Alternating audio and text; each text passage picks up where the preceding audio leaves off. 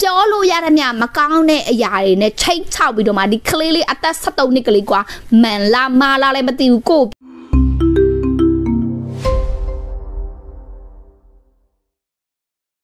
တငယ်ချင်းတို့ရေဒီကနေ့မှာဂျပန်နိုင်ငံမှာ2014ခုနှစ်မှာဖြစ်သွားတဲ့ကဘူတာရုခစီဆိုတဲ့အသက်22နှစ်အရွယ်ကောင်ကလေးကအရန်နေတော်ပြီးတော့မှလူသားစမ်းတက်မှုပြုလုပ်ဖို့ဆိုပြီးတော့အသက်73နှစ်အရွယ်ကလေးမလေးကိုပြန်ပေးဆွဲသွားတဲ့ကိစ္စကိုပြောပြပေးတော့မှဖြစ်ပါရှင့်အဲစိတ်ဝင်စားဆိုဆက်ပြီးတော့နားထောင်ပေးပါ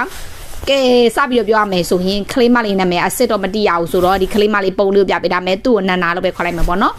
နန္နာဆိုတဲ့ကလေးမလေးဟာဆိုရင်အသက်73နှစ်ပဲရှိနေတယ်သူကအရန်ကိုမှကျင်နာတတ်တယ်ဖော်ယူတတ်တယ်ကြောက်မှလည်းအဆင်ပြေတယ်အဲမိဘတွေကလည်းချစ်တယ်မိဘနှစ်ယောက်ပေါ့နော်ပြီးတော့မှကြောက်မှဆရာမတွေကလည်းချစ်တယ်တကယ်ချင်းတွေကလည်းချစ်တယ်နန္နာလေးချစ်စရာလေးပေါ့နော်သူကအသက်က73နှစ်ပဲရှိသေးတယ်အဲ့လိုနဲ့တရက်မှာသူမကောင်လေးတစ်ယောက်ကသူ့ကိုစကားလာလာပြောတာကိုလမ်းမှာတွေ့တယ်တွေ့တဲ့အချိန်မှာသူကကြောင်းကနေလမ်းလျှောက်ပြီးတော့ပြန်လာတာ။အဲ့နေ့က Monday Monday ဆိုတဲ့အတိုင်းပေါ့တနင်္လာနေ့ပေါ့နော်။အဲ့ဒါ March လ10ရက်နေ့နဲ့ 2014မှာကလေးမလေးကကျောင်းကနေ3နာရီခွဲမှာလမ်းလျှောက်ပြီးတော့ပြန်လာတယ်ပြောမယ်ဆိုရင်ဒူမနေရနေရကအိုဆာကာဆိုတော့တည့်ရမလားဂျပန်နိုင်ငံမှာအိုဆာကာဆိုတာမြို့ကြီးတစ်မြို့ပဲပေါ့နော်အဲ့လိုမျိုးအဓိကမြို့တော့မဟုတ်ပေမဲ့အဲ့ဒီအိုဆာကာမှာဆိုမှလည်းပြောတော့ကလေးမလေးတွေအိမ်ကိုလမ်းလျှောက်ပြီးတော့ကျောင်းကနေပြန်နေဆိုတာပုံမှန်ပဲပေါ့နော်အဲ့လိုနဲ့ကလေးမလေးအိမ်ပြန်လာအဲ့အချိန်မှာယောက်ျားတစ်ယောက်ကသူ့စကားလာပြောတယ်ပြောပြီးမှသူ့ခေါ်သွားတယ်သူကလည်းလိုက်သွားလိုက်တယ်ပေါ့နော်အဲ့တော့တဲ့ဇက်လန်ကအဲ့အဆာဒီကလေးမလေးဒီယောက်ျားလေးနောက်ကိုလိုက်သွားတဲ့ကိစ္စကနေစတာ တရက်မှာမိဘတွေအိမ်ပြန်ရောက်လာရောအဲ့ match လာဆက်ရက်နေ့2014မှာဟဲ့ငါတို့တမီလေးကဒီနေ့အိမ်ပြန်မရောက်လာသေးပါလားပေါ့အဖေကလည်းအဖေနဲ့မိနဲ့ကလည်းအဲ့နေရအလုပ်တွေရမ်းရှုပ်နေတာခီးတစ်ခုကနေပြန်လာတာအဲ့လိုမျိုးမြို့နေနေနဲ့ဝေးနေရအောင်တွားရတာပေါ့နော်အလုပ်ကိစ္စတွားမှပြန်လာတဲ့ခါကျတော့ပင်မန်းနဲ့တမီကလည်းတစားစားနဲ့ကျောင်းကနေပြန်ဖို့အချိန်ရောက်ပြန်လဲဘယ်ရောက်နေရလဲမသိဘူးငါတို့တမီရပေါ့နော်နာနာဘယ်ရောက်နေရလဲမသိဘူးပေါ့အဲ့လိုနဲ့စောင့်ရင်စောင့်ရင်စောင့်ရင်နဲ့ကလေးက တာမန်အိမ်ပြန်ရောက်ရမယ့်အချိန်မှာရောက်လာတဲ့ခါကျတော့မိဘတွေအရန်စိတ်ပူပြီးလိုက်ရှာပေါ့အเจ้าမတော့ရှာမရှိဘူးတကယ်ချင်းအိမ်နေလိုက်ရှာမရှိဘူးလမ်းနေမှာလိုက်ရှာမရှိဘူးဆိုတော့အရန်ကိုစိတ်ပူနေပြီခါကျညနည်းနည်းနဲ့တဲ့ထိစောင့်လိုက်မယ်ပေါ့နော်ညမိုးချိုးတဲ့ဒီကလေးကပြန်မလာဘူးပြန်မလာကလေးက73နေပဲရှိတယ်နာနာလေးကအခါကျကလေးပြန်မလာဆိုမိဘတွေကစိတ်ပူမှရဲတို့ဖုတ်ဆက်ပြီးတိုင်နေပေါ့အမရဲတွေကလည်းလိုက်ရှာပေါ့ကောင်မလေးရဲ့ပိုစတာတွေမြို့နယ်အနှံ့ပေါ့နော်ဒီအိုဆာကာမြို့အနှံ့မှာပေါ့နော်ဒီကလေးမလေးပျောက်နေပါတယ် missing people ပေါ့ဒီကလေးမလေးပျောက်နေပါတယ်ဆိုလက်ရှာကြပေါ့အဲ့အချိန်မှာဒီ ီနာနာလေးပြောင်းနေပါတယ်နာနာလေးပြောင်းနေပါဆိုလုံးဝမတွေ့ဘူးဒီမှာဘာတွေ့လဲဆိုတော့မိဘတွေရဲ့အိမ်ကစာတိုက်ပုံထဲမှာစာတစ်စောင်တွေ့ရင်အဲ့စာထဲမှာကောင်းမလေးရာဘာရေးထားလဲဆိုတော့နေမျိုးပြောမလဲအိမ်မှာမနေကျွန်တော်တို့ထွက်သွားပါတယ်ပေါ့အဲ့လိုမျိုးရေးထားဘာလဲဆိုတော့ကိုကိုကိုပြန်ပြီးရှာဖွေတွေ့ရှိအောင်လို့အချိန်နဲ့ယူရမှာမဟုတ်လို့အဖေတို့မိတို့စိတ်မပူပါနဲ့ပေါ့တမီခဏအိမ်ကနေထွက်သွားဘလို့ပေါ့အဲ့လိုပြောရည်ဒါနဲ့မိဘတွေကငါသမီးอ่ะ ငါသမီးอ่ะတမီးလိမ်မာလေးကွာပြီးတော့သူ့မှာလည်းအင်ကြီးဝစားတွေရောအေးသူအကြိုက်ဆုံးရုပ်တွေရောသူအကြိုက်ဆုံးစားတောက်တွေရှိတယ်ဒီအိမ်ကနေငါတို့နဲ့လည်းရမှာဖြစ်ပဲနဲ့ဘာလို့ငါကလေးကထွက်သွားရမှာလဲပေါ့ဒိတ်လည်းမရှိဘူးဒီစားပေါ့ဒါကလေးကိုတယောက်ယောက်ကအတရဓမ္မစေခံပြီးရေးခိုင်းထားတဲ့စားပဲပေါ့အဲ့တော့တေးကြတာသူကငါတို့ကလေးကိုတယောက်ယောက်ကပြန်ပေးဆွဲသွားပြီငါတို့ကလေးကိုတယောက်ယောက်ကခိုးသွားပြီ အားခါကြောင့်မိဘတွေအရှမ်းကိုစိတ်ပူပြီးကွာဒါကလေးလက်ရည်နဲ့ရေးထားတဲ့စာဒါသူ့ကလေးသူ့ကလေးကတကယ်အဲ့လိုထွက်သွားမဲ့ကလေးမျိုးမဟုတ်ဘူးဆိုတော့သူတို့တိရကွာသူတို့တမီလေးကအခါကျတော့သူတို့မိဘအရန်စိတ်ပူပူဆွေးတော့ကားတွေရောက်ပြီးမရဲရတဲ့ရှာဖို့လုံးဝရှာမတွေ့ကလေးပြောက်ပြီးတော့ကိုရက်မြောက်နေမှာအာဟိုဟာဘေးနာဗာလဲဗာလဲပတ်ဝန်းကျင်လူကပြောပါတော့နင်းသမီးလေးကိုအဲ့နဲ့နေ့လေကတွေးလိုက်တယ်ယောက်ျားလေးတယောက်နဲ့စကားပြောနေတာတွေးလိုက်တယ်ဘသူလဲလည်းမသိဘူးဘယ်ကားနဲ့ခေါ်ရတယ်လည်းမသိဘူးကောင်လေးတယောက်နဲ့စကားပြောနေတာတွေးလိုက်တယ်လို့ပြောလူတွေရှာတီးတီးကြကြတီးတီးချာချာမသိရတဲ့ခါကျတော့ဒီကလေးမလေးကိုဘလို့မှချီရခံလို့မရဘူးရဲတွေကလည်းအဲ့လိုနဲ့ရဲရလည်းခေါင်းတောက်တယ်မလားကောင်မလေးကလည်းပျောက်သွားပြီအကြောင်းလေးမှလည်းအိုးနေရတကမှဒီကလေးမလေးအကြောင်းမသတင်းတွေမှလည်းဒီကလေးမလေးအကြောင်းပိုစတာတွေမှလည်းဒီကလေးမအကြောင်းဒါ2014 match လာပါပေါ့နော်အဲ့နဲ့ဒီကလေးမလေးပျောက်သွားပြီဆိုမိဘတွေကလည်းစဝမ်းနေနေပေါ့အဲ့လိုနဲ့စာတွေကလည်းချခဲ့ရဆိုတယောက်ကတိတ်ချတိတ်ချတယ်တယောက်ကခေါ်သွားပြီကွာတယောက်ကခိုးသွားပြီဆိုအရန်ကိုတိတ်ချနေပြီအဲ့ချိန်မှာကိုရက်မြောက်နေ့မှာနောက်ထပ်စာတစ်စောင်ပြရမလား စားတယ်ပဲထားတယ်ဆိုအမေတို့ကိုစိတ်ပူစေမိလို့တောင်းမှတ်ပါတယ်ပေါ့တမီးကိုနောက်ထပ်လိုက်မရှာပါနဲ့တော့တမီးကြမ်းကြမ်းမမှန်ကောက်ကောက်မွန်မွန်နဲ့တနေရာမှာတမီးပျော်တဲ့နေရာမှာတမီးရောက်နေပါတယ်ပေါ့အဲ့တော့အမေတို့စိတ်မပူပါနဲ့ဆိုနောက်ထပ်စားတဲ့ဆောင်ပိုးခဲ့ရောအဲ့မှာပြီးပါတဲ့ခေါင်းတောက်ပြီးကွာတေးကြတယ်တခုကဒီကလေးမလေးရဲ့လက်ရည်စစ်မလက်ရည်အစ်စ်ဒါပေမဲ့ဒီကလေးမလေးစကားပြောတဲ့ပုံစံနဲ့မတူဘူးကွာဥမာသူ့အမေကို तू ကအာအမေလို့ခေါ်နေတာကို ဒီစာထဲမှာကျတော့အမလို့အဲ့လိုရေးခဲ့တာမျိုးပေါ့နော်အဲ့လိုဒီကလေးမလေးရဲ့လက်ရေးတော့မှန်တယ်ဒါနဲ့ဒီကလေးမလေးရဲ့အာဘော်ဖြစ်မနေဘူးအခါကျလူတွေကသူ့အမေနဲ့တိတယ်ကွာငါသမီးလေးတယောက်ယောက်ရဲ့လက်ထဲမှာတယောက်ယောက်ကအသင်အာရမစိတ်ခိုင်းပြီးတော့မှဒီစာကိုရေးခိုင်းနေတာဆိုမိဘတွေစိတ်ပူပြီးတော့မှဝမ်းနေပူဆွေးငိုကြွေးကလေးလေးကလည်းလုံးအောင်မှရှာမယ်တွေးတော့ပေါ့နော်ဒီကလေးမလေးကိုအဲ့လိုနဲ့နောက်ွယ်မှာဒီကလေးမလေးကိုဘယ်သူကပြန်ပေးဆွာသွားတာလဲဆိုတော့ခဘူထာရူစီဆိုတဲ့ကောင်လေး အဲ့ဒီကောင်လေးက तू ပြန်ပေးဆွဲထားတော့ငါဆိုရင်အသက်22နှစ်ပဲရှိသေးတယ်သူ့ကိုပြောရမယ်ဆိုရင် तू ကပြောမယ်ဆိုရင်ချမ်းသာတဲ့မိသားစုကနေမွေးဖွားလာတာသူ့အဖေနဲ့အမေနဲ့ဆိုတာက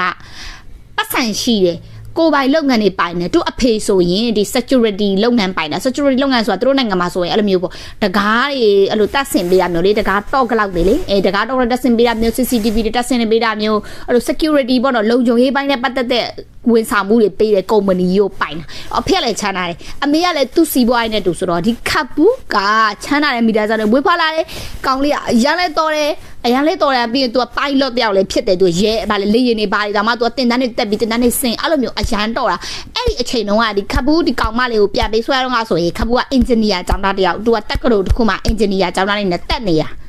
အဲ့မှာ तू ကပြောမယ်ဆိုကျောင်းမှာဆိုရင်ねသူတငယ်ချင်းတွေပြောမှာတော့တိတ်စိတ်တယ် အေးအေးချမ်းချမ်းတယောက်ထဲနေတဲ့လူမျိုးကထူးဆန်းတယ်ကွာသူမျိုးအမောင်ပိတ်ထားတဲ့လူလူမျိုးမျိုးတင်မလားဒီလူကြည့်လိုက်ဆိုငါသူ့နားမလဲဘူး तू အကောင်းတာလားမကောင်းတာလား तू ပါပျော်နေရလားမပျော်နေရလားဝမ်းနေနေရလားဝမ်းနေနေရလားလည်းမသိရဘူးအဲ့လိုမျိုးအရန်ပိတ်နေတဲ့လူမျိုးပေါ့နော် cash တော့အဲ့လိုလူမျိုးတွေပါဒီ society မှာဆိုတွေ့ရတယ်ကွာအဲဆိုအချို့လူတွေဆိုလေသူတို့ကြည့်လိုက်လေအဲဝမ်းတာနေရလားဝမ်းနေနေရလားသူတို့အခုလက်ရှိဖြစ်နေပြက်နေတဲ့ပုံစံကတကယ်အစ်စ်မှန်လားအတူရောင်လား ဘာမှမသိရအောင်အေးအေးစစ်စစ်တောက်တဲ့ကြောင်ထဲမှာပိတ်နေတဲ့လူမျိုးတွေပေါ့နော်အဲ့မျိုးလူတွေဆိုရင်ကြောက်ရရှောင်အဲ့လိုတိတ်တိတ်စိတ်နေတဲ့လူမျိုးဆိုတော့အားကြောက်ရရှောင်သူတို့စိုက်ကိုတွေများတယ်သူတို့စိုက်ကိုတွေများတယ်သူတို့အတွေးထဲမှာတွေးချင်တာတွေပြီးလှုပ်ချင်လုံနေတဲ့ကောင်တွေအဲ့လိုကောင်တွေများတယ်ပေါ့နော်ဒါ ပြောပြပေးရတဲ့ခါလေ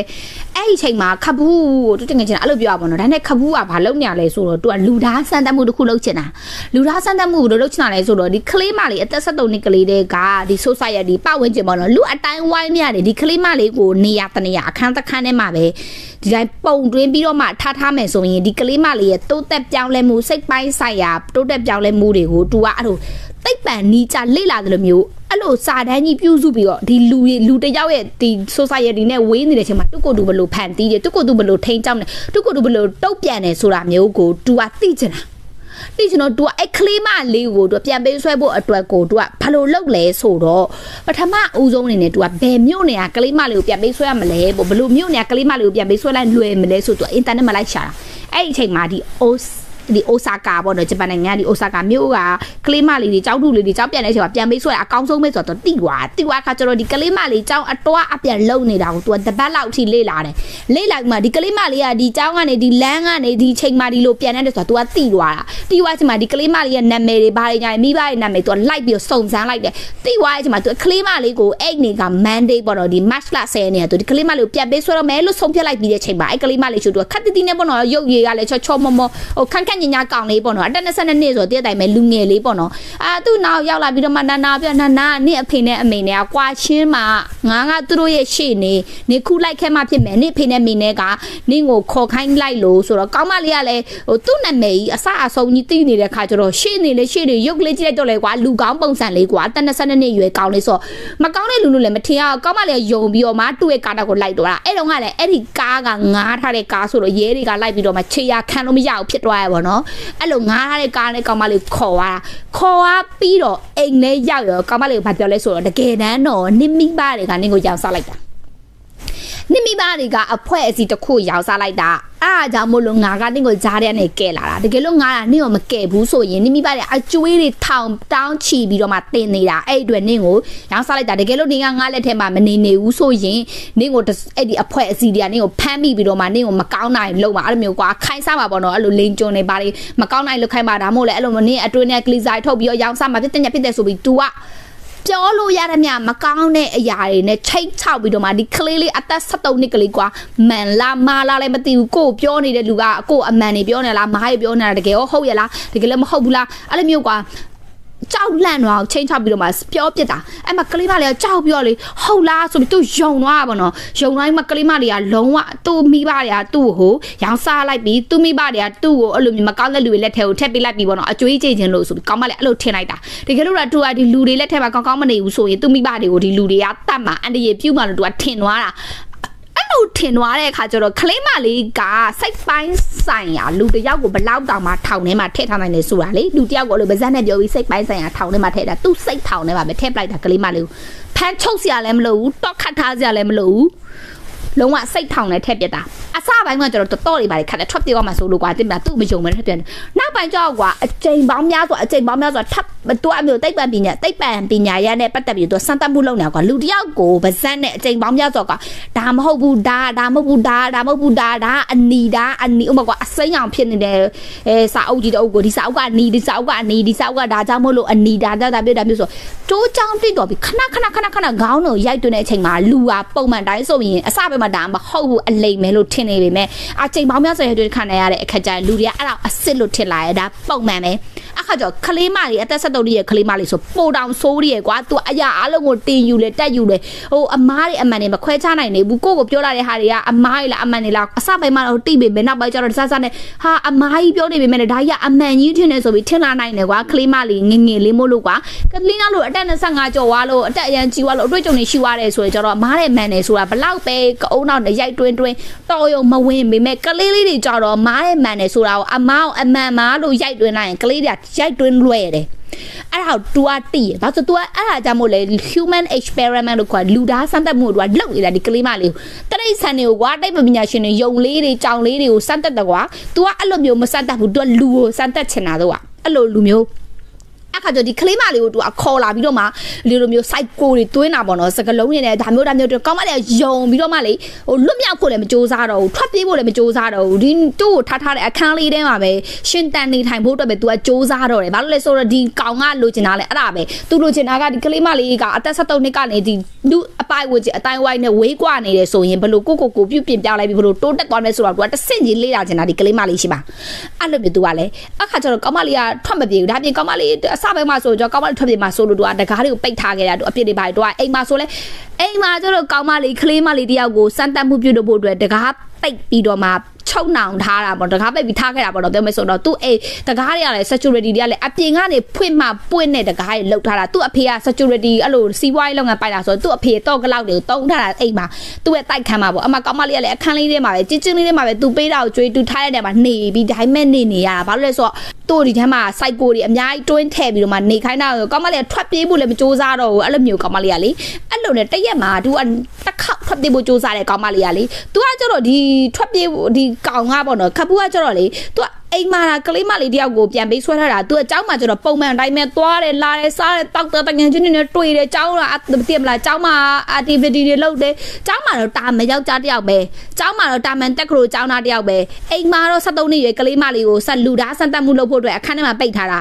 အဲ့ဒါဘတုတငယ်ချင်းတွေလည်းမသိဘူးဘူးမှလည်းမသိကြဘူးဘတုတငယ်ချင်းကသူထူးဆန်းတယ်လို့တော့ထင်ကြတာနဲ့သူအဲ့လိုလုပ်နေမယ်လို့တော့ဘယ်သူမှလည်းမထင်ထားကြဘူးဆရာတွေကလည်းဒီကောင်လေးကတော်တယ်ဒီကောင်လေးကတော်တယ်ဆိုတာပဲသူတို့မြင်တယ်ကျွန်တော်ဘာမှမမြင်ဘူးဒီကောင်လေးကအနောက်ကမှတော် ပြီးမှနောက်ကမှလူသားဆက်သက်မှုလုပ်နေမယ်ဆိုတာမသိကြအောင်အဲ့လိုနဲ့ခလေးမလေးကဆိုရင်သူ့ကိုဖမ်းထားတဲ့အတော့အတွင်းပေါ့နော်သူကနှစ်ခါတိတိထွက်ပြေးမှုတယ်ခလေးမလေးပထမတစ်ခေါက်ထွက်ပြေးလိုက်တဲ့အချိန်မှာတဲ့သူကအမျိုးသမီးတယောက်အဲ့အိမ်နာပေါ့တိုက်ခဏအမျိုးသမီးတယောက်တွေကလေးတွေနဲ့ပေါ့သူကပြောပေါ့ကျမကအာဘဒုရဲ့သမီးပါကျမသူ့ရှိကိုပြန်သွားချင်လို့ကျမကိုကူညီပါလားလို့အဲ့လိုပြောတာဟိုအမျိုးသမီးကငါမှငါသားသမီးတွေလှုပ်ရှားရရှိတယ်နင့်ဘာနင့်နင့်ကိစ္စသားငါအာယုံမဆိုင်နိုင်ဘူးတော့တခြားလူတော့ပြောဆိုပြီးသူ့မောင်ထုတ်ပလား သူ့မောင်းထုတ်လိုက်တာအခါကျတော့သူကလေယုံသွားအဆမအော်ဟုတ်ပါတယ်ပေါ့ငါ့ကိုဘယ်သူမှဂရုမစိုက်တော့ဒီကဘာကြီးပေါ်မှာငါရှိတယ်မရှိတယ်ဆိုတာဘယ်သူမှလည်းမသိကြတော့ငါမိဘလည်းငါ့ကိုလိုက်မရှာနေတော့ ဟိုကောင်ပြောသလိုပဲပေါ့ခါပူပြောသလိုပဲငါကရောင်းစားခံရရတာငါကကဘာကြီးပေါ်မှာပျောက်ကွယ်တော့တင်းတဲ့လူမျိုးပါဆိုပြီးသူ့ကိုသူတော့ယုံကြည်သွားပထမတစ်ခေါက်အဲ့တော့ね तू ကပြန်ပြီးအိမ်ထဲကိုပြန်ဝင်ပြီးခက်တီနဲ့ပြန်နေနေရပေါ့ခါပူက तू အိမ်ကနေထွက်သွားတယ်မသိဘူးကောင်မလည်းပဒင်းပေါက်ကနေထွက်သွားအဲ့တော့ तू မသိဘူးအဲ့နဲ့နောက်တစ်ခေါက်အဲ့လိုပဲတော့နေနေနေနေကောင်းမလေးကထွက်မြောက်လွတ်မြောက်ချင်တာကွာလူတော့လူတွေရဲ့သဘောတဘာဝကိုတနေရာထဲမှာအဲ့လိုဂျောင်ပိတ်ထားရဆိုလွတ်မြောက်ဖို့လမ်းရှာတာပုံမှန်ပဲကွာအဲ့တော့ကောင်းမလေးနောက်တစ်ခေါက်ပြန်ထွက်ပြေးပြန်ရောနောက်ခေါက်ပြန်ထွက်ပြေးဆိုသူကပန်းချန်ဟာကိုထီရောက်သွားဒီ ဒီတိုက်ခိုင်းအပြင်ဖိုးပန်းကြံတာတယောက်တော့တိုက်ပန်းကြံမှာသူကနောက်ထပ်အမျိုးသမီးတက်ကိုထပ်တွေ့ထွက်တွေ့တော့ပြန်ပြီးတော့မှပြောပြမလို့ကျမနာမည်ကဘဒူဘဒူပါပေါ့ကျမဘဲကိုဘဲကိုပြန်ကျင်လို့ပါပြောမယ်ဆိုရင်သူ့ကိုဖမ်းထားတဲ့နေရာကကြတော့ဒီသူ့ကိုဖမ်းခဲ့တဲ့နေရာကြတော့ဒီချီပါဆိုတဲ့မြို့ပေါ့နော်သူ့ကိုဖမ်းခဲ့တဲ့ချီပါဆိုတဲ့မြို့နဲ့သူနေတဲ့ငကိုကအိုဆာကာသူနေတဲ့နေရာနဲ့ကမိုင်ပေါင်း40ကျော်ဝေးရဲ့ဒါကြောင့်မို့လို့လေသူကသူ့ကသူပြန်သွားလို့မရလို့လမ်းမှာတွေ့တဲ့အမျိုးသမီးတွေပါတယ်ညာတွေသူကအကူကြီးတောင်းတာပေါ့နော်ကလေးလေးကလေးဆိုငယ်လေးလေးအဲ့တုန်းက73နှစ်ဆိုတော့73ဆက်သူ့ဖမ်းထားတာတစ်နှစ်ဆို14နှစ်ပေါ့နော်ဘလောက်ကြီးအောင်ပါလဲအဲ့14နှစ်သမီးလေးကဘယ်လိုလုပ်ခရီးတွားရမှာလဲကိုကကိုမိုင်40ကျော်တက်မလားအဲ့အကြောင်းမလို့လေပြေမှာတွေ့လို့အကူကြီးတောင်းတာလေဘယ်သူမှမကူညီဘူးဒုတိယံပြီးနောက်ထပ်မျိုးသမီးတယောက်ကပန်းချက်မှာတွေ့လို့တူမဘာဘာညာပါဆိုအခုကြီးတောင်းနေမကူညီပါဘူးရှင်ကိုကကိုတွားကိုကကိုလှုပ်ရဲတွေကိုတိုင်လိုက်ပါညာခွေးကောက်အဲ့လိုမျိုးပြက်ခါကျကမလေးကလည်း ဟဲဘောငါဘာမှလည်းမကူညီဘူးငါဘာမှလည်းလိုက်ရှာမနေဘူးငါဘာမှမလုပ်ချင်တော့ဘူးဆိုပြီးတော့ပို့ပြီးတော့တုတ်ကိုတူထင်လာတာကလေးမလည်းအဲ့တော့အိမ်ပြန်ပြန်သွားပြန်ရနှခါတိတိတူထွက်ပြေးတယ်နော်အဲ့နှခါတိတိတူအိမ်ကိုပြန်သွားခဲ့ရပြောချင်တာသူ့ရဲ့စိတ်လောင်ကလေးလေးငငယ်လေးဆိုသူ့ရဲ့စိတ်လောင်ကြောင်းသူ့ရဲ့စိတ်လောင်ကြိုင်ထဲမှာ तू ကပိတ်မိနေတာ သူကသူအိမ်ကိုဖုံးဆက်ပြီးအမေကိုဖုံးဆက်ခေါ်ပြီးတော့မှရဲသွားတိုင်လို့ရရကွာအဲ့လိုမျိုးသူကလောင်မိန်တယ်ဒီလိုနဲ့သူ့ကိုဖမ်းပြီးတော့မှသူ့ကိုဖမ်းတာ2014ရပါတော့သူ2016ရောက်တော့နနှစ်ကြာသွားတဲ့အချိန်မှာသူမကသူ့အမေကိုသူဖုံးဆက်လိုက်တယ်တရက်မှသူထွက်ပြေးပြီးတော့သူဖုံးတစ်ခုကိုယူပြီးတော့ဖုံးဆက်လိုက်တဲ့အချိန်မှာ သူ့အမေကိုသူဖုံးဆက်တယ်သူ့အမေကဖုံးကန်လိုက်တယ်ကြိုက်တဲ့အချိန်မှာဟိုဘက်ကကလေးအတန်လေးပေါ့နော်ဟယ်လိုအမေလားဆိုပုံစံလေးသူ့ကိုခေါ်ခဲ့တဲ့အချိန်မှာအမေကတန်းတိလိုက်ပြီးဒါငါသမီးပဲဒါငါသမီးအတန်ပဲဆိုတာတန်းတိလိုက်တယ်အဲ့သမီးလေးအမေရှိပြလာပါသမီးလေးပမာလဲသမီးလေးအမေရစိုက်ပူနေရပြည့်စညာပြည့်တယ်ပေါ့အမေကဟိုဘက်ကနေပြီးအဲ့ချိန်ကျမှအကောင်မလေးကအဖြစ်မှန်ကိုတိလိုက်တာ ဒီနှစ်နှစ်တာလုံးသူ့အမေကိုဖုံးခေါ်လိုက်လို့ရရတာနဲ့သူမကဟိုကောင်ကသူ့ကိုစိုက်ကိုတွေထည့်ထားတော့ဖုံးမခေါ်ဘူးသူ့အမေဘာလဲဆိုဟိုကောင်ကသူ့ပြောထားရကွာနင့်မေတွေနင့်ဖေတာနင့်ကိုရောင်းစားလိုက်တာနင့်မေတွေနင့်ဖေတာနင့်ကိုဒါမျိုးဖြစ်လိုက်တာဆိုအဖေတွေမေတွေကိုရန်တူကြီးလို့ကြောက်စရာကြီးလို့မြင်ပြီးတော့မှသူအဖေတွေမေတွေကိုဖုံးတာမဆက်ရဘူးကောင်မလေးက အဲ့လောက်အထိကိုစိုက်ကိုတွင်းခံလိုက်ရတာ73နှစ်ရွယ်ကလေးမလေးဆိုတည့်မလားတွင်းခံလိုက်ရအဲ့နဲ့ကောင်းမလေးကလည်းအန်အော်ပြီးမှအမေနဲ့အဖေကတမီးလေးပြက်လာပါဆိုသူကလည်းဟုတ်ကဲ့ဆိုပြီးမှဒီအခန်းတကားကနေပဒင်းပေါက်ကနေခုံထွက်ပြီးတော့မှယထာကြီးစီးပြီးတော့သူ့အမေအိမ်ကိုပြန်သွားတာယထာမစီးခင်မှလည်းဒီယထာဘူရာယုံကဖုံးဆက်ပြီးတော့မှပေါ့သူ့အဖေအမေပြအမေအဖေတမီးပြန်လာပြီးတမီးပဲဘူရာကနေဒီခုစီးလာပြီးအဖေတွေလည်းဝမ်းသားရဲတွေလည်းသူဖုံးဆက်လိုက်တယ်အမရဲတွေကလည်းစောင့်ပေါ့နော်အမသူကနောက်ဆုံးသူ့အိမ်ကိုပြန်ရောက်သွားခဲ့တယ်နနစ်တိတိနနစ်တိတိဖန်စီထုံနောက်ခံရပြီးတော့မှလွတ်မြောက်သွားခဲ့တယ်ပေါ့နော်ဒီကလေးမလေးနာနာပေါ့နော် အဲ့လိုနဲ့ဒီကောင်လေးကတိလိုက်ပြီအိမ်ပြန်ရောက်လာတဲ့အချိန်မှာနာနာမရှိတော့ဘူးမရှိတော့ဆိုသိသွားပြီအော်နာနာထွက်ပြေးသွားပြီပဲပေါ့အမှသူတိလိုက်တူတဲ့ထွက်ပြေးရပေါ့ဒါနဲ့သူထွက်ပြေးမနဲ့လဲရဲတွေကသူ့ဒီသတင်းတွေမှာကြေညာပြီးတော့မှဒီလူအလိုရှိပါတယ်ဒီကောင်လေးကိုအလိုရှိပါတယ်ပေါ့ခဘူးကိုအလိုရှိပါဆိုလိုက်ရှာကြတဲ့ခါကျတော့သူ့ဖမ်းမိလိုက်တယ်ဖမ်းမိလိုက်တဲ့အချိန်မှာသူကသူ့ကိုတက်သိဖို့စူးစမ်းထားတာကိုတွေးရတယ်သူ့ကိုသူဒါအဲ့လိုမျိုးဒါသေးသေးလေးပေါ့နော် break ဒီဗာလဲဒီ ဘူးတွေဖွင့်တဲ့ဓာတ်သေးသေးလေးပေါ့နော်အဲ့လိုဓာတ်သေးသေးနဲ့ကိုကိုကိုတတ်သိဖို့စူးစမ်းထားတာနဲ့မသိဘူးပေါ့နော်တွေးတွေနဲ့ဒဏ်ရာတွေနဲ့ပဲဖြစ်နေတာပေါ့အဲ့နဲ့သူ့ချက်ချင်းပဲတရားရုံးတင်ပြီးတော့မှတရားဆွဲတယ်အဲ့ချိန်မှာအော်စရာကောင်းတာကခဘူးကအဲ့ကလေးမလေးကိုလုံးဝရိုက်နှက်ခြင်းမရှိဘူးလုံးဝနှိပ်စက်ခြင်းမရှိဘူးလုံးဝစော်ကားခြင်းမရှိသလိုပါဆိုဘာမှနစ်နာစရာကိစ္စမလုပ်ဘူးနှစ်နှစ်သားလုံးမှာ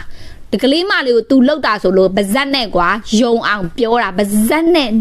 ချုပ်နောင်တာပါဇက်နဲ့စကလုံးနဲ့ချုပ်နောင်ထားတာလူတယောက်ကိုစကလုံးနဲ့နနစ်တတိဒီကလေးမလေးကိုချုပ်ထားတာဒီကလေးမလေးကို तू နှိတ်လည်းမဆက်ဘူးကြိုးလည်းမချီဘူးရိုက်လည်းမရိုက်ဘူးဘာမှမလုပ်ဘူး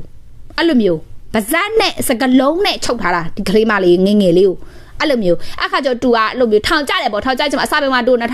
2010 18မှာသူ့ကိုထောင်ဒဏ်6နှစ်ချရပါတော့အဲ့အချိန်မှာကလေးမလေးကဆိုတော်တော်လေးကိုစိတ်ဒဏ်ရာရသွားတာသူ့ဘဝမှာလည်းလူတွေကိုအရန်ကြောက်သွားတယ်အပြင်တယောက်တည်းထွက်ရမှာကြောက်သွားတယ်အိမ်ထဲမှာပဲလောင်ပိတ်ပြီးတော့မှအဲ့လိုမျိုးပြောမဆိုယောဂတစ်ခုလိုမျိုးကိုပြစ်သွားတာပေါ့နော်အဲ့လို anxiety တွေအရန်များစိုးရိမ်ပူပန်မှုတွေများအရန်ကြောက်တစ်ခုခုဆိုတွေးပြီးကြောက်တစ်ခုခုဆိုမြင်တာနဲ့ကြောက်အဲ့လိုမျိုးယောဂတစ်ခုရသွားတယ်ကလေးမလေးကလေအဲ့လိုလူတွေကိုမယုံတဲ့စိတ်လူစိမ့်ဆိုကြောက်တဲ့စိတ်အဲ့လိုမျိုးတွေနဲ့ဖြတ်တန်းသွားပါတော့ကလေးမလေးကဒါနဲ့ဒီကောင်ကတော့ ကိုးနှစ်ပဲထောင်ကြသွားရပေါ့နော်အဲ့လိုနဲ့ဒါစင်မပြေဘူးပေါ့လူတယောက်ကိုဒါမျိုးပြန်ပေးဆွဲပြီးစိတ်ပိုင်းဆိုင်ရာနှိပ်စက်ပြီးမှဒီလောက်ပဲကြာကြတာဆိုပြီးတော့အဲ့လိုနဲ့2018ပြီးတော့2019မှာသူ့ကိုနောက်ထပ်ထောင်ဒဏ်တိုးလိုက်တယ်ပေါ့နော်ထောင်ဒဏ်ကိုးနှစ်ကထောင်ဒဏ်12နှစ်ဆိုပြီးတိုးချလိုက်တယ်အဲ့တော့ဒီကောင်လေးကအာသူဒီကလေးမလေးအသက်28နှစ်လောက်ဆိုရင်ပြန်လွတ်လာပါပေါ့နော်ဒီ2028လောက်ဆိုထောင်ဒဏ်နေပြန်လွတ်လာနိုင်ခြေရှိရပေါ့နော်အဲ့တော့ခဘူးကဘာလို့ဒီ စိတ်ယူပေါက်ပြီးမှစမ်းသက်တာကိုတခြားအရာကိုမစမ်းသက်ဘဲနဲ့ကလေးမလေးရဲ့တယောက်ရဲ့ဘဝကိုတွားပြီးတော့စမ်းသက်ပြီးလူသားစမ်းသက်မှုပြုလုပ် ဖို့အတွက်ဘလို့ idea တွေများရဘလို့တွေများယူတွတ်သွားတယ်တော့မသိသူဆိုတာလေเจ้าမအရန်တော်ပြီးတော့မှပတ်စံချမ်းသာတဲ့မိသားစုကလာတာဖြစ်လို့ဟိုပြောမယ်เจ้าကောင်းကောင်းတက်နိုင်တယ်ပညာကောင်းကောင်းတက်တဲ့ပညာဓာတ်တယောက်ဘာလို့အလောက်တောင်ယူထွတ်သွားရလဲဆိုတော့ကက်တရီနာလည်းမသိတော့ဘူးတော့တကယ်ချင်းတို့လည်းဘလို့ထင်လဲပေါ့နော်ဒီကောင်လေးเจ้าကိုတကယ်ချင်းတို့နားထောင်ရတဲ့အချိန်မှာစိတ်ထဲမှာဘာတွေးမိလဲဘာပြောချင်လဲ comment မှာတစ်ချက်ဆွေးနွေးပေးခဲ့ပြီနော် ကက်တရီနာမန်ဖရန်က cash ဖြစ်ပါရဲ့ရှင် cash ဗီဒီယိုလေးကြိုက်တဲ့ဆို like and follow လေးလုပ်ပြီးတော့အားပေးပါအောင်လို့တောင်းဆိုချင်ပါရှင်ဗီဒီယိုလေးလည်းအရန်ရှည်သွားပြီဖြစ်လို့တကယ်ချင်းတို့လည်းအခုဗီဒီယိုလေးကြိုက်နေတက်မယ်လို့ကက်တရီနာလည်းယုံကြည်ပါတယ်ကလီနာမှာ YouTube channel လေးလည်းရှိလို့ YouTube မှာတွားပြီးတော့ like and follow subscribe လေးလုပ်ပြီးတော့ပထမအဆုံးတင်တဲ့ဗီဒီယိုဖိုင်လေးတွေကိုအမြဲတမ်းကြည့်ရှုအားပေးကြပါအောင်လို့ပြောချင်ပါရှင်ကက်တရီနာရဲ့အနောက်မှာဆိုရင်ဒီမှာအမျိုးသားတွေအတွက်ပေါ်တော့ခုလိုနှွေရာဒီပူပူကြီးမှာအရန်ကိုမှနန်စောနေတယ်ဆိုရင်အတွင်းပိုင်းတန့်စင်ဆက်ပြလေးကိုကက်တလီနာနဲ့ကြီးညာပေးသွားမှာဖြစ်ပါတယ်ဒီဒီယောက်ျားလေးအတွင်းပိုင်းတန့်စင်ဆက်ပြပေါ့နော် Caroline တစိတ်ကလေးอ่ะဆိုညစ်ထိုင်းနိုင်ငံမှာထုတ်လုပ် FDA ရပြီးတဲ့ side effect ဆိုကြလုံးဝမရှိဘူးအခုဝယ်မယ်ဆိုရင်16000နဲ့တဘူးကိုရမယ်တဘူးကို3လသုံးလို့ရတယ်ပုံမှန်တော့ तू က2000ကျော်ရောင်းတဲ့ပစ္စည်းအခု promotion ချပေးထားတဲ့နေရာဒီမှာကိုယ့်ရဲ့ယောက်ျားကိုယ့်ရဲ့ရီးစားကိုယ့်ရဲ့ဘဒူမဆိုပေါ့နော်အဲ့လိုမျိုးယောက်ျားလေးတငယ်ချင်းတို့ဘာလို့ပေါ့နော်အဲ့လိုမွေးနေတဲ့ဆောင်နေနဲ့ပေးခြင်းနဲ့ဆိုရင်ဒီပစ္စည်းလေးကိုပေးဖို့အတွက်အရန်ကုန်မှတင့်တော်ပါရဲ့လို့ကက်တလီနာနဲ့ညွှန်း ချင်ပါတယ်ဘာလို့ဆိုဒီပစ္စည်းလေးကဒါတကိုရီတန့်ရှင်းတဲ့ပစ္စည်းဆိုတော့ဒါယောက်ျားလေးတိုင်းကအဲ့လိုတာမန်ရေချိုးနေတဲ့ချိန်မှာတာမန်ဆက်ပြိုင်တဲ့ဆေးရထွက်ကိုယောက်ျားလေးတွေဒီအတွင်းပိုင်းအထူးတည်တံ့ထုတ်လုပ်ထားတဲ့ဒီဆက်ပြလေးနဲ့ဆေးပေးမယ်ဆိုရင်တနေ့တာလုံးမှာလန်းဆန်းပြီးတော့မှအနံ့သက်ဆိုးတွေကင်းဝေးနိုင်မယ်ဆိုတာကို ကက်သလီနာကပြောပြပေးရင်းနဲ့ပဲဒီဗီဒီယိုဖိုင်လေးကိုဆုံးသက်ချင်ပါတယ်မာယူလိုပါကကက်သလီနာခုပြထားတဲ့ page လေးမှာတွားပြီးတော့မှလိပ်စာဖုန်းနံပါတ်လေးပေးပြီးတော့မှမာယူနိုင်တဲ့အဲမြန်မာနိုင်ငံတနိုင်ငံလုံးကိုအရောက်ဝေချေပို့ဆောင်ပေးပါတယ်ရှင်အလုံးမဲ့တာပြောရှင်တော်နေလေးကိုပိုင်ဆိုင်နိုင်ပါစေတတန်ကက်သလီ